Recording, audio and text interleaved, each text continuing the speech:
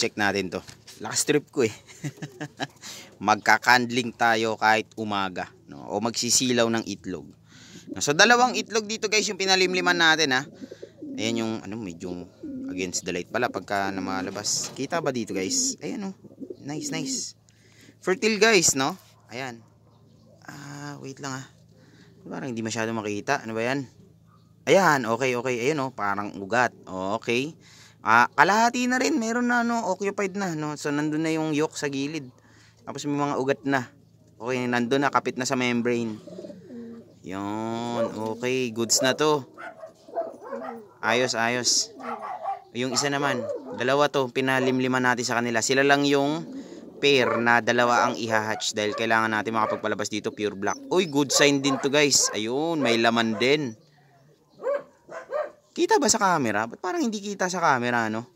Ayan, wait lang, anggulahan natin. Anggulo talaga, nako. Ma-against the light kasi. Ayan. Fertile guys. Alright, dalawa yung itlog na fertile. Ba't hindi makita masyado sa camera? Ito kasi guys, ang target natin dito makapagpabuga ng pure black. No, so hanggat maaari, dalawang itlog yung kailangan natin. Kasi gusto ko na talaga iparetiro si Murky, yung barako na itim. So, ito, good sign naman eh.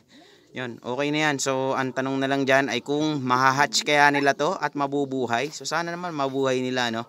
Gusto ko na makapagpalabas ng pure black din at maparetiro na tong kulay itim na yan.